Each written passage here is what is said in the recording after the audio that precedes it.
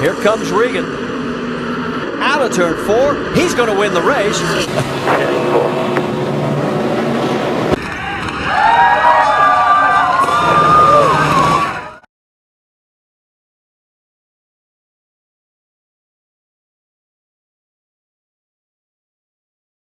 Regan, I've heard of good first days at work, but you, my friend, have taken it to a whole new level.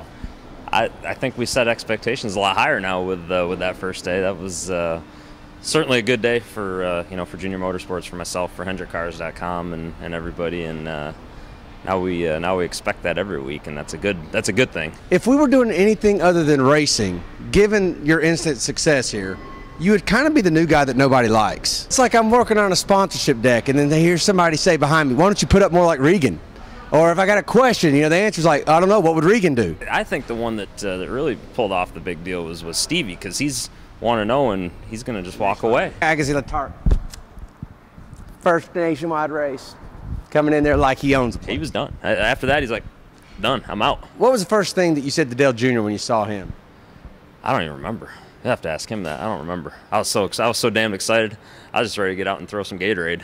Dale Jr., Steve Letarte, I've got nothing to say to either of you. It's just that I lost a bet that if y'all won the championship in our basketball league, I would get on JRM 360 and declare you my daddies. So, congratulations, daddies. There was a question whether we were going to win. I made a bet, Poor decision. And it's good to see you're humble about this. Oh, wait, uh, no, say a little louder. I didn't hear it the first time. What do you wanna know? I just no the, the bet pay up again. What was it again? You had to do what? I didn't say I'd do it twice. I didn't hear it the first time. You are my daddy. Okay, that makes me feel better.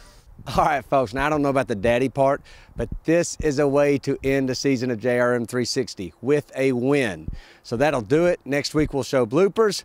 I hope everyone has a happy Thanksgiving. We'll see you soon.